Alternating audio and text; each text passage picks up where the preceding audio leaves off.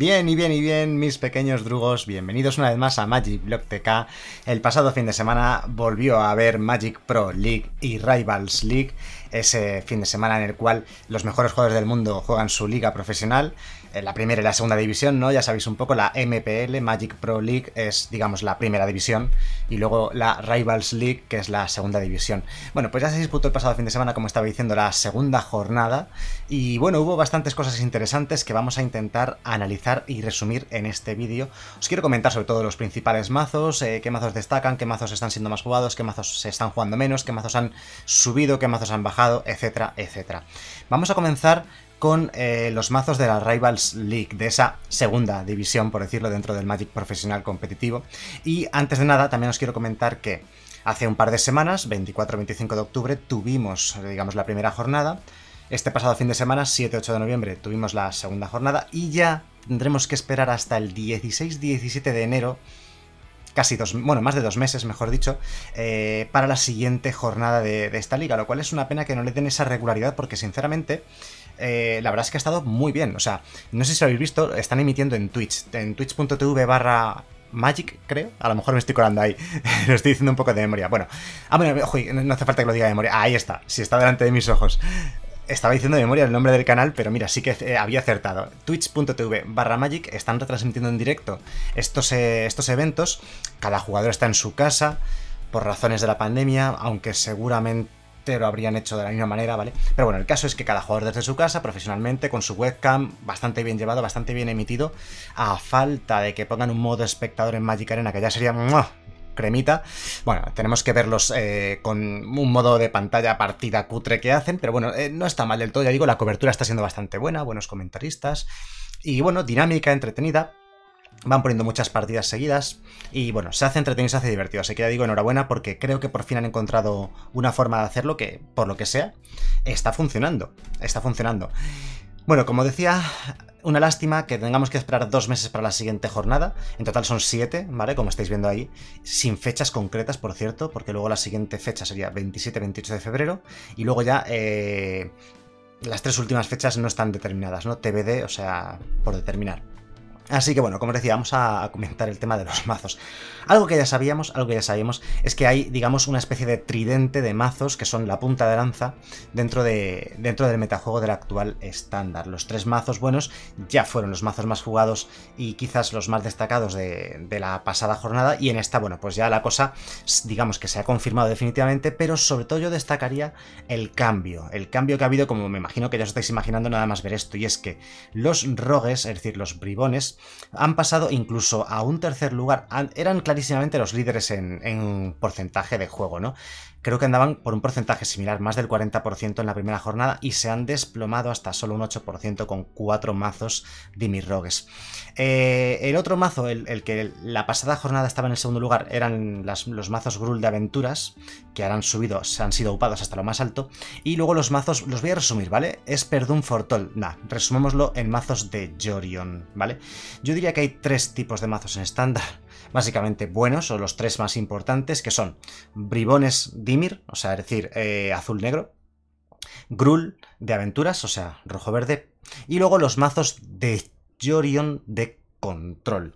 Y digo de Jorion de control porque hay algún otro mazo que ahora comentaremos que también lleva Jorion, pero no se puede llamar de control. Ahora os comentaré, ahora especificaré.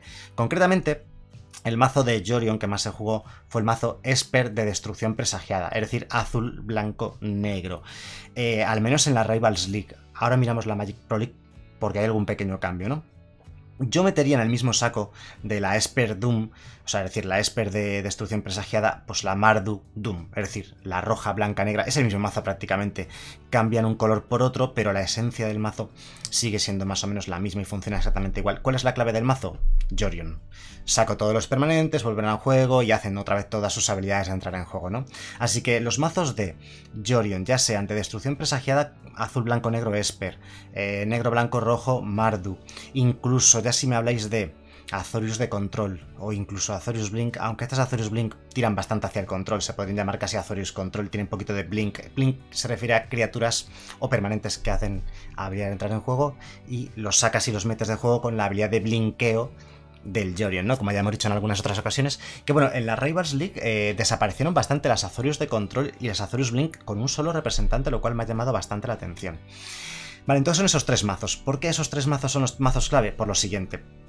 Los eh, bribones, los rogues, ganan a los mazos de, en general, ¿vale? hablo de generalización, tiene un porcentaje favorable a su favor de victoria los mazos de Rogues respecto a los mazos de Jorion, ¿de acuerdo? Y los mazos de Jorion tienen a su vez un pequeño porcentaje de ventaja de victoria sobre los mazos de Grul, los mazos agresivos, y a su vez los mazos Grul tienen un poquito de ventaja respecto a los eh, mazos Dimir de Bribones. O sea que al final es un juego de piedra, papel, tijera. Eh, como digo, eh, Jorion gana a Grul, Grul gana a Bribones, Bribones gana a Jorion cerrando el círculo, ¿de acuerdo? Es un poco por eso también lo más destacable justo de los tres mazos más populares y más jugados en estos eventos profesionales, ¿no? Luego hay una segunda tanda de mazos y aquí viene lo que yo más destacaría y es la desaparición absoluta, al menos en la Rivals League y en la Pro League, de Rakdos Midrange. Las rojas negras con Croxa es que han desaparecido.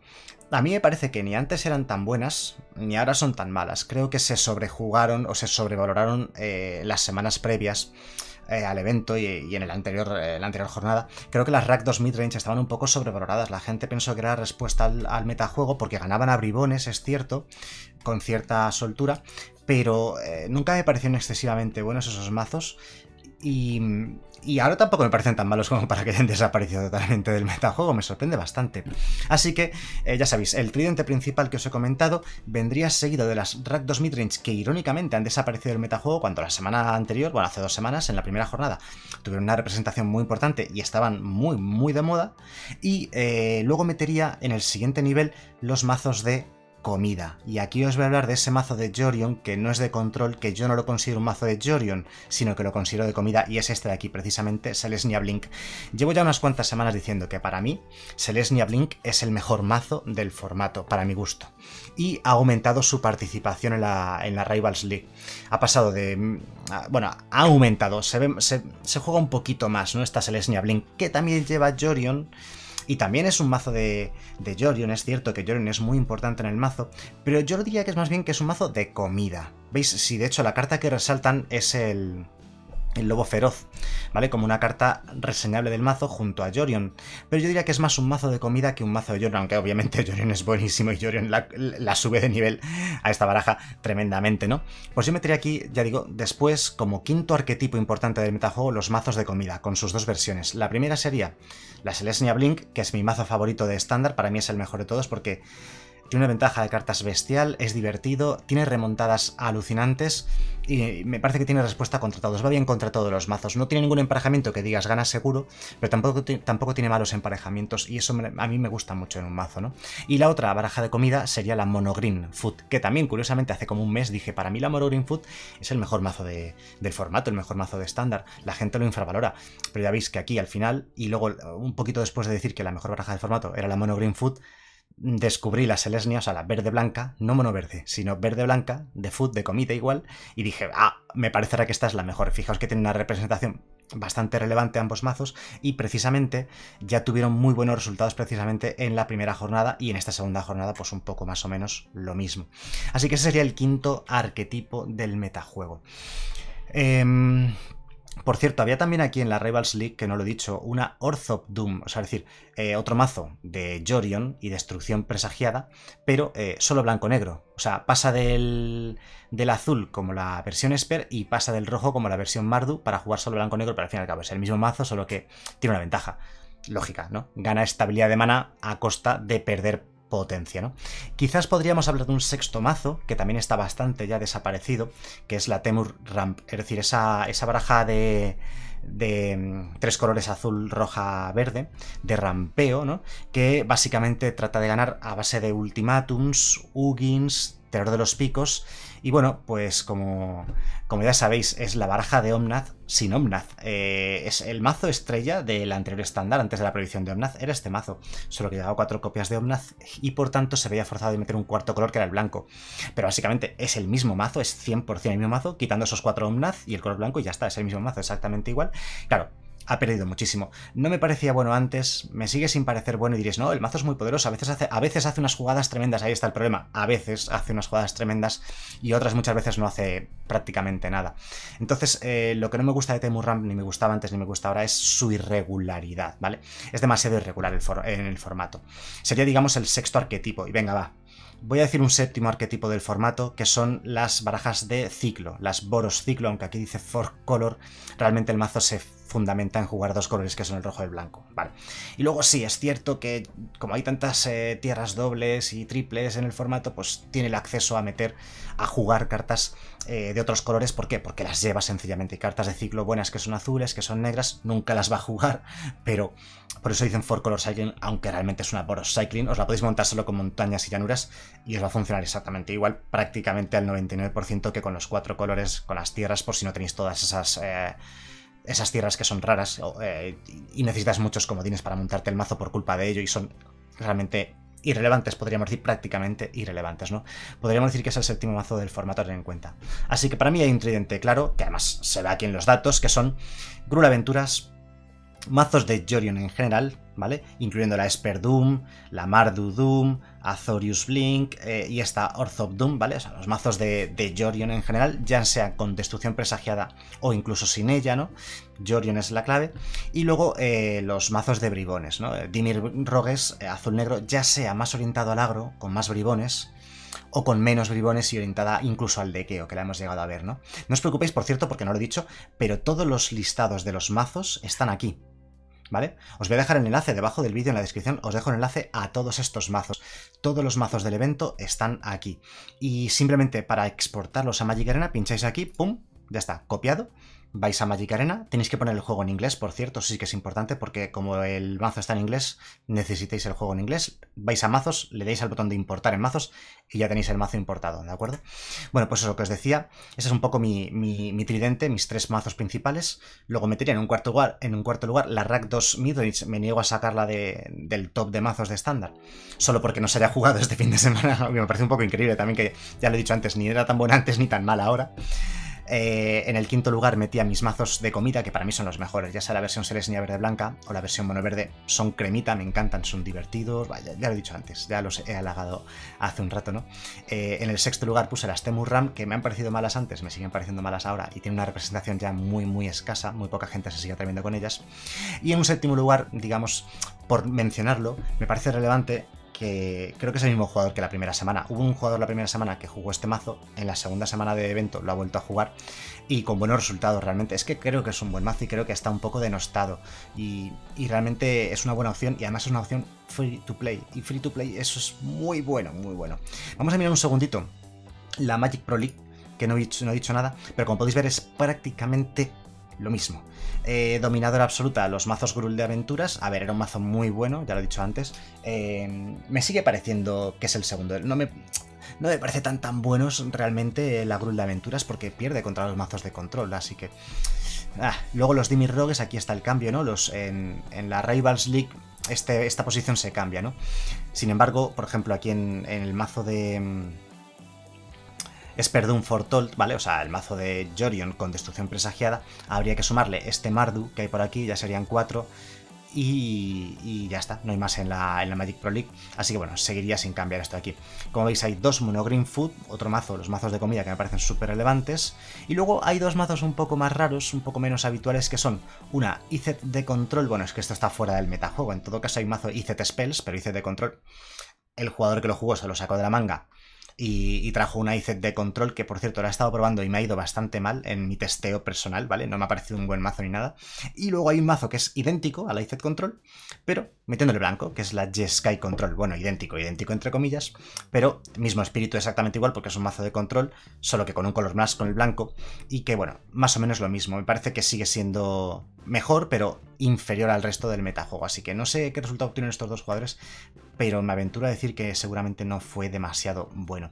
Bueno, no tenemos todavía, es un poco increíble eh, cómo funciona la Magic Pro League, pero no tenemos los resultados. Ayer se jugaron todos eh, todas las partidas del fin de semana.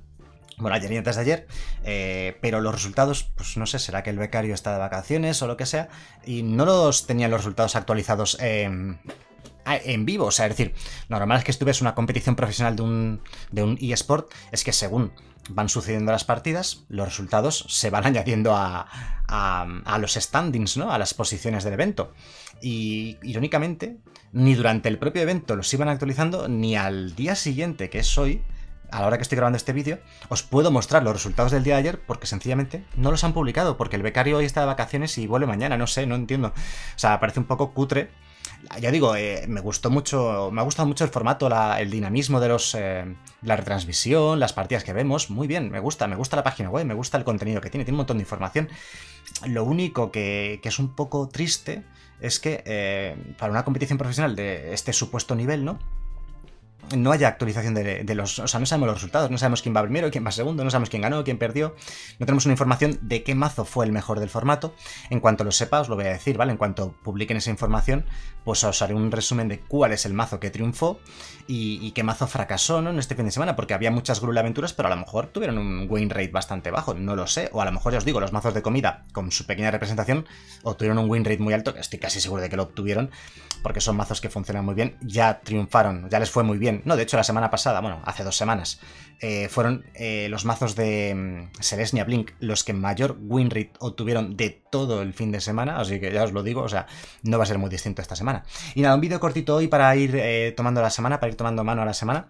el día 12, el día 12 sale Amonkhet Remastered, es un nuevo, bueno, es una recopilación exclusiva para histórico de dos colecciones de Magic Arena que ya estuvieron en Magic Arena, ¿vale?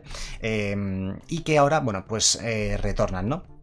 Em, así que retornan en una colección conjunta. Eran dos colecciones de 250 cartas cada una, en total 500 cartas. Lo que han hecho es mutilar esas 500 cartas, dejarlo en 350 más o menos.